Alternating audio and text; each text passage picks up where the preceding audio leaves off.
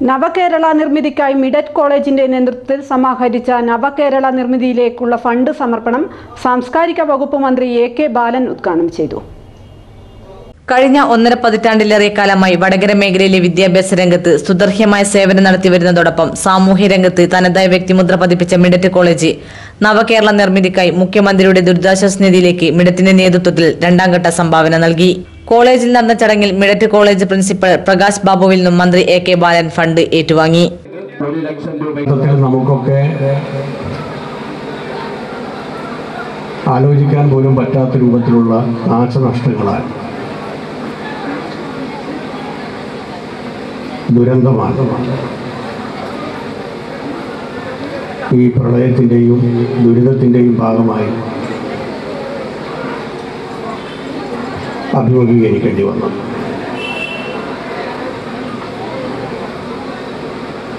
ഏതാണ്ട് United Nations ഓർഗനൈസേഷന്റെ കണക്ക് പ്രകാരം ഒരു മുപ്പത്തി ഒന്നായിരം കോടി രൂപയുടെ നാശനഷ്ടങ്ങൾ നമുക്കുണ്ടായിട്ടുണ്ട്. യഥാർത്ഥത്തിൽ അതിനേക്കാളും ഇരട്ടിയായിരിക്കും നാശനഷ്ടം. ഒരു ലക്ഷത്തോളം മൃഗങ്ങളും പക്ഷികളും നഷ്ടപ്പെട്ടു. ജീവനോപാധികൾ നഷ്ടപ്പെട്ടു. കിടപ്പാടം നഷ്ടപ്പെട്ടു.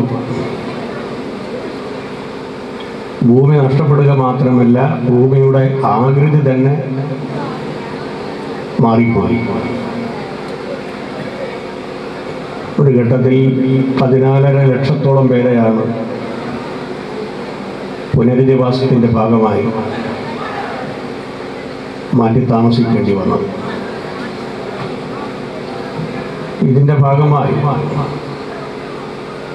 ജനങ്ങളുടെ സഹായത്തോടുകൂടി കേരള ഗവൺമെന്റ് നടത്തിയ മാതൃകാപരമായ സുരക്ഷാ പ്രവർത്തനവും പുനരധിവാസ പ്രവർത്തനവും ലോകത്തിന്റെ ശ്രദ്ധ പിടിച്ചു പറ്റിയ മാതൃകാപരമായ municipal councillor C K Kunhiraman അധ്യക്ഷ വഹിച്ച ചടങ്ങിൽ സുധീഷ് മടപ്പള്ളി പ്രകാശ് ബാബു സുനിൽ കോട്ടയമ്പ്രം അനിൽ മംഗലാട് ഗംഗാധരൻ മാസ്റ്റർ ശ്രീധരൻ മേപ്പയിൽ മുഹമ്മദ് സാജൽ സുനിൽകുമാർ കോട്ടപ്പള്ളി തുടങ്ങിയവർ സംസാരിച്ചു. ചിറ്റപ്പന്റെ കല്യാണ. നല്ല സുന്ദരിയായിരിക്കണം. അതെങ്ങനെയാ? ഇതുപോലെ നല്ലൊരു നെക്ലേസ് വേണം.